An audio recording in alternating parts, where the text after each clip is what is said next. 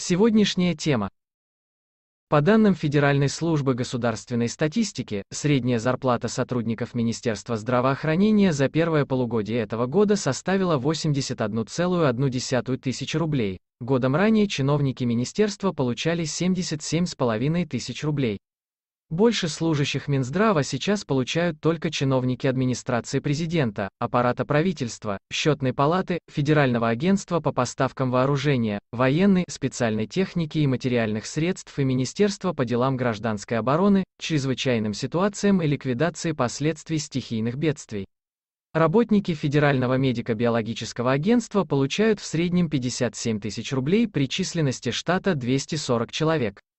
Напомним, по данным Росстата, врачи в нашей стране получают 21 тысячу рублей. Средняя зарплата в России – 22,8 тысячи рублей.